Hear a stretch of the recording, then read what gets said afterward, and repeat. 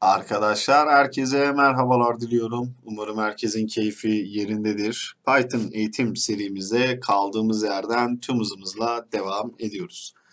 Bugün yine yeni bir e, konuyu sizlere anlatmaya çalışacağım. Konumuz iteratörler arkadaşlar. Peki nedir bu iteratör yapısı? İteratörler aslında bir gezgindir arkadaşlar. Bir e, objeye gider ve o objenin her bir elemanını dolanır. Bu örneğin bir liste yapısı düşünebilirsiniz. Listenin her bir elemanına gider, dolaşma işlemini gerçekleştirir. Veya bir string ifadede de her bir karaktere gider, her bir karakter yapısını bize döndürür.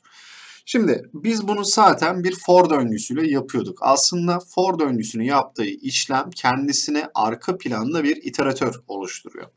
İsterseniz şöyle başlayalım kendimize bir tane liste yarattık. Örneğin 1, 2, 3, 4 ve 5 isminde. Ben her bir elemanı yazdırabilmem için bir for döngüsü yaratabilirim arkadaşlar. For i in liste dedikten sonra her bir i elemanını yazdırdığımda bakalım çalışını nasıl bir sonuç ortaya çıkacak. Bakın 1, 2, 3, 4 ve 5 yani liste içerisindeki her bir elemanı yazdırdı. Burası bir string ifade de olabilir. Mesela anlaşılır ekonomi yazdığımda da bu sefer string ifade üzerinden her bir karakteri bize yazdırır. Şimdi iteratör yapısını, e, for döngüsünün nasıl çalıştığını arka planda görerek öncelikle bir bakalım, anlamaya çalışalım. Şimdi for döngüsü aslında kendisine bir iteratör fonksiyonu yaratıyor. Ve bunun üzerinden işlem yapıyor arkadaşlar. Örneğin kendimize şöyle iteratör diye bir fonksiyon biz de kendimiz tanımlayalım. Şu anda yapacağım işlem for döngüsünün arka planda ne yaptığını biz manuel olarak yapmaya çalışıyoruz. İteratör fonksiyonu arkadaşlar iter dediğimiz yani iter dediğimiz bir fonksiyon yapısını kullanarak bunu liste içerisine alıyor. Burada aslında for döngüsünün yaptığı ilk işlem de bu. Biz hangi yapıyı e, okumasını istiyorsak kendisine öncelikle arka planda bir iteratör fonksiyonu oluşturuyor. Peki bu fonksiyon yapısı yani kendisine yarattığı bir obje yapısı bakalım öncelikle karşımıza nasıl çıkıyor. Ben iteratör olarak oluşturduğum e, nesneyi yazdırdığım zaman bakın arka planda nasıl bir sonuç çıkacak. Bakın bir string ifadede bir obje olduğunu ve bellek üzerinde de şu anda bir adrese sahip olduğunu bize gösterdi. Yani artık iteratör yapımızı oluşturmuş olduk. Peki for döngüsü bunun içerisinde ne işlem yapıyor? Öncelikle iteratör yapısını for döngüsü oluşturdu.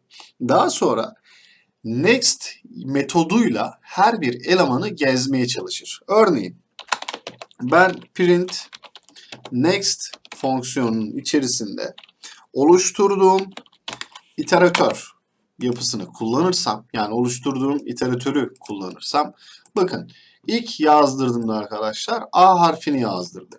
Tekrar çalıştırsanız da yine A harfini yazacak. Çünkü bu birinci elemana gider. Şimdi bundan geldim kopyaladım arkadaşlar aşağıya şöyle yapıştırdım. Her yapıştırdığım next fonksiyon içerisindeki iteratör aslında her bir elemana gitme işlemidir. Şurayı tekrardan bir temizleyip tekrar çalıştıralım. Yaptığım zaman bakın birincisi A harfine gitti. İkincisi N harfine gitti. Üçüncüsü L harfine gitti. Bu şekilde mesela anlaşı şeklinde kaç tane yazdıysam, ekrana yazdırmak istiyorsam oradaki alana gitti.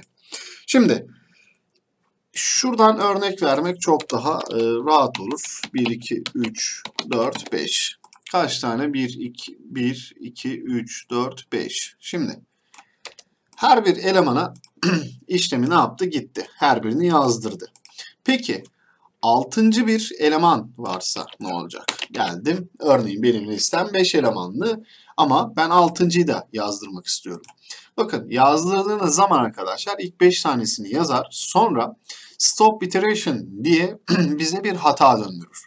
Peki for döngüsü bu hatayı nasıl algılıyor? Yani gitti for döngüsü aslında. Şurada şuradaki ifadenin tamamını çalıştırdı ben for döngüsünü yazdığımda. Ama döngü devam ediyor ancak döngüyü durdurabilecek bir sistem gerekiyor. Yani eleman bittiğinde de for döngüsünün bitmesi gerekiyor. İşte bu durumda da arkadaşlar biz 6.da aldığımız stop iterator yapısını bir döngü, while döngüsü içerisinde bir hata yapısıyla ortaya çıkartabiliriz. Geldim. Şimdi şurayı tamamen sildim arkadaşlar. Buraya bir while true şeklinde sonsuz bir şekilde döngüye girecek bir yapı oluşturuyorum.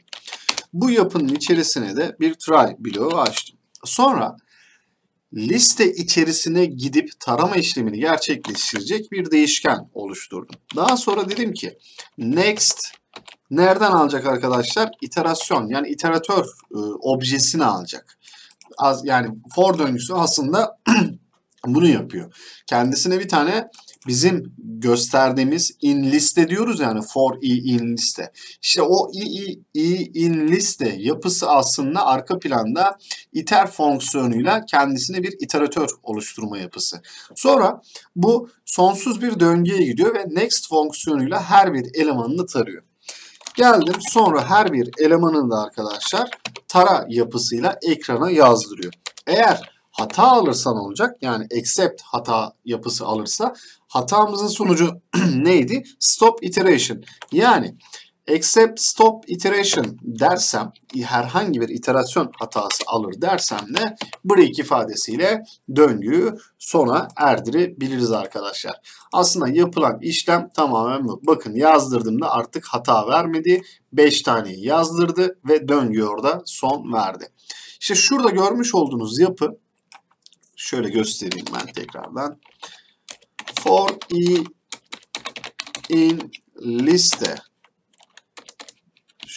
şöyle print i dediğimde aslında şu e, işaretlediğim alanın arka planda yaptığı işlem şurası arkadaşlar. Bu ikisi de bize aynı sonucu verecektir. Bakın çalıştırdım. İlk birden 5'e kadar olan kısmı for döngüsünün kendi çalıştırması. Diğeri de ilk geri kalan 5 tanesi de bizim for döngüsünün arka planda ne yaptığını anlattığımız bir yapının çalışması. Yani şuradaki yapının tamamı aslında buradaki for döngüsü yapısıyla oluyor. Ne dedik tekrar baştan e, anlatmaya çalışalım. For döngüsü biz for i in liste dediğimizden itibaren kendisine öncelikle liste yapısını bir iter fonksiyonu içerisine yerleştirerek kendisine bir iteratör oluşturuyor. Daha sonra bunu sonsuz bir döngüye sokuyor. Her döngü içerisinde next fonksiyonuyla her bir elemana teker teker gitme işlemini gerçekleştiriyor ve her gittiği elemanı da print yapısıyla ekrana yazdırıyor. Eğer eleman biterse yani eleman sayısından daha fazla tarama yapmaya çalışırsa bu sefer stop iteration hatasıyla karşı karşıya kalıyor ve biz onu try bloğu içerisine aldığımız için accept yapısında bir stop iteration hatası aldığında döngüyü sona erdirmesini istiyoruz arkadaşlar. Peki biz kendimize bir iteratör yapısı oluşturabilir miyiz? Öncelikle onu e, bakalım oluşturabiliyoruz arkadaşlar. Bunun için e, bir iter metodu, bir tane de next metodu kullanmamız gerekiyor. Şimdi şurayı tamamen silelim. Öncelikle kendime bir sınıf oluşturuyorum. Mesela sınıfımın ismini de arkadaşlar sayılar değerini veriyorum. Sonra bildiğimiz fonksiyon yapısını init yapısından bir self metoduyla oluşturuyorum. Örneğin başla ve bitir diye iki tane de argüman yerleştirdim. Geldim self nokta başla eşittir başla diyorum. Self nokta bitir eşittir bitir diyorum. Şimdi sınıfın içerisine bir parametre yerleştirdik. Başla ve bitir parametresi. Sonra Bakın girinti bu arada şurası olacak. Yani sınıftan çıkmayacağım. Sınıfın ancak e, init yapısının içerisinde devam etmeyeceğim. Initle işim bitti çünkü tanımladım. Geldim. Def dedikten sonra arkadaşlar iki tane alt tire yazıp bir iter yapısı yerleştiriyorum. Sonra yine iki tane alt tire işaretiyle yapıyı açıyorum. Bunun içerisinde de bir self parametresi olacak ve return self diyerek işlemi gerçekleştirecek. Yapımızı burada kurduk. Özür diliyorum. Peki next yapısıyla yani her bir elemana teker teker gitmek için ne yapmam gerekiyor? Yine bir def yapısını kullanıyorum. Yine iki tane alt tire ile next yine iki tane alt tire diyorum. Bir self yapısı buraya daha yerleştiriyorum. Geldim aşağıya başlıyorum. Bir if bloğu koyacağım. Diyorum ki self nokta başla eğer küçük eşittir self nokta bitir. Yani ilk girilen sayıyla ikinci girilen sayını birbiriyle öncelikle e, kıyaslıyorum. Yani başlama değeri bitirme değerinden küçük ise ne işlem yapacak? Bunu x diye bir değişkene atayalım şimdi. Başla değerini. Başla değerini başladım ve self nokta başla değerini de her bir dönüşte arkadaşlar bir tane arttırsın. Şu şekilde yazarsak artı eşittir bir dilinde bir defa arttırma anlamına geliyor. Daha sonra da return x diyerek fonksiyonu tekrar döndürüyorum. Eğer bakın başlangıç sayım bitiş sayımdan küçük olduğu sürece sayı her zaman bir tane artacak. Yani aslında tarama işlemini birer birer arttıracak. Yapı tamamen bu. Eğer biterse yani başlama değeri bitme değerinin üzerine çıkarsa ne olacak? Bir else yapısı alacak ve bize race ifadesiyle bir stop iteration hata yapısını döndürecek. Şimdi yapıyı kurduk. Öncelikle print ifadesiyle sayılar isimli sınıfı bir tarayalım. Bakalım ne yani bir obje mi bir iterasyon objesi yarattık mı kendimize. Bakın class main sayılar şeklinde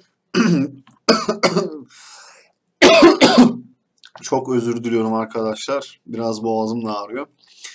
Ee, nerede kaldık? Print ifadesiyle e, obje sınıf yapısını aslında oluşturmuş olduk.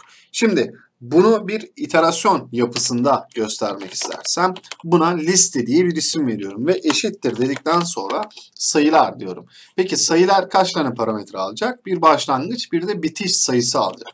Geldim. Örneğin birden başlasın 100'e kadar devam etsin.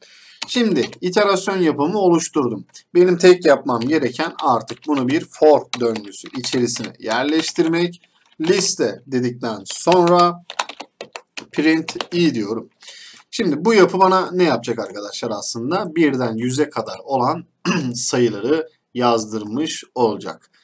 Yapı tamamen çalışma prensibi bu şekilde arkadaşlar. Hem for döngüsünün arka planda nasıl çalıştığını gördük.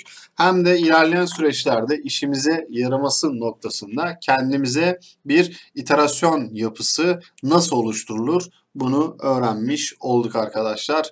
Bir sonraki videoda görüşmek dileğiyle. Hoşçakalın.